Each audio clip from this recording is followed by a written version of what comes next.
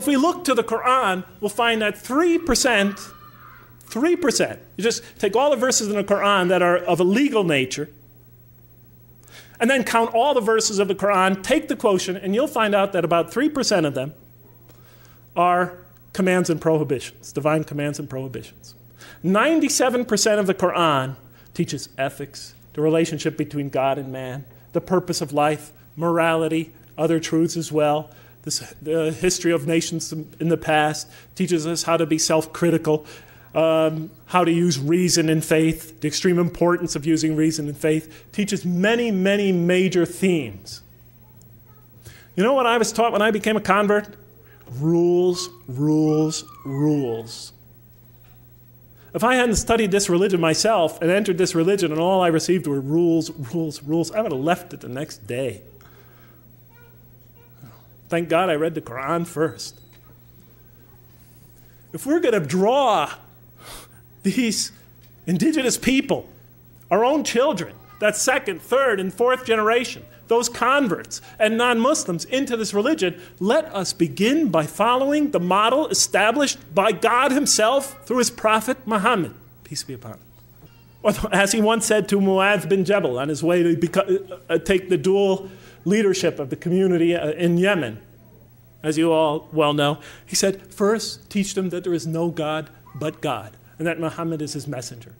And when they have fully understood that, then teach them how to pray. And when they become consistent in that, and they've developed in that fully, then teach them about fasting during Ramadan. And then once they've accomplished that, then teach them what?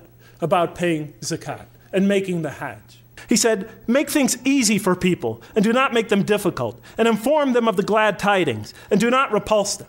Do we practice that here? We're trying to win these kids back over to this religion.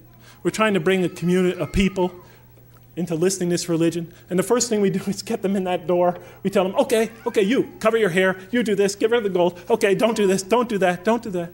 I don't mind telling the people what are the Muslim behaviors and, or, or whatever. But that's become our, we, we are obsessed with only that. When we bring people into our community, don't expect them to become Middle Easterners or you know Arabs or Pakistanis or Sri Lankans the next day or ever even. Give them time to grow into the religion. Give them the space to grow. Give them the room to grow. Give them the right to ask. Give them the right to question. Give them time to develop. The Quran gave them 13 years in Mecca and then slowly but surely brought them along after that. We always put the cart before the horse. Give them time.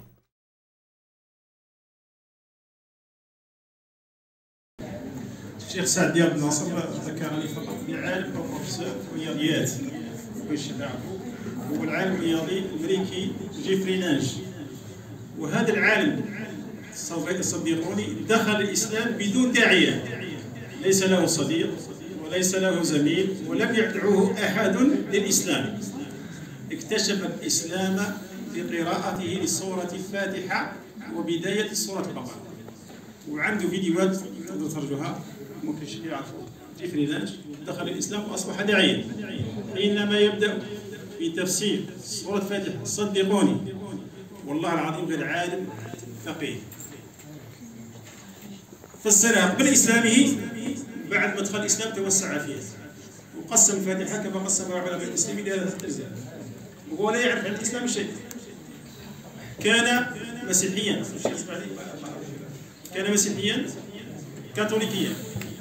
وكانت أمه يعذبها والده. معناه يعذبها بقصف دعا الرب كما يقولون. دعا الرب أن يموت والده لتستريح أمه. فلم يستجب الرب. ما حبش الرب يستجيب. فكفر وأصبح ملحدا. لماذا؟ لأن الرب لم يستجب لدعائه بموت أبيه لأنه كان يؤذي أمه. بعد ذلك تدرج إلى غاية في الشهادات وصل إلى غايه بروفيسور الرياضيات أهداه طالب مسلم المصحف ومن ثم ومن تلك النقطة بدأ حركة إسلامه ودخول الإسلام وأصبح داعية وهو مشهور جدا الشيخ عفوا لأنه واسمحوا إذا كان سرقت من عن الشيخ لأنه هو أنا ما طيح في بالي تكرار.